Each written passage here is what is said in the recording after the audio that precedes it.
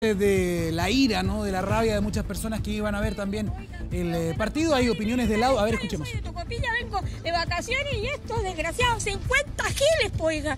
50 estúpidos delincuentes que no son de la sé si son, son activistas y llegan y nos echan, poiga.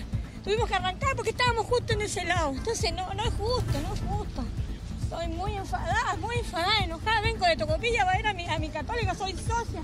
Hago tremendo esfuerzo y estos imbéciles nos sacan del estadio. Muy apenada, muy apenada, muy apenada.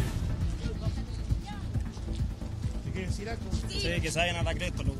Esto, mira, el equipo de fútbol es distinto, las demandas sociales también son distintas. El equipo se cuida, el estadio no, no se rompe, por si acaso, para que escuchen. Le digo a todos ustedes los que están rompiendo el estadio.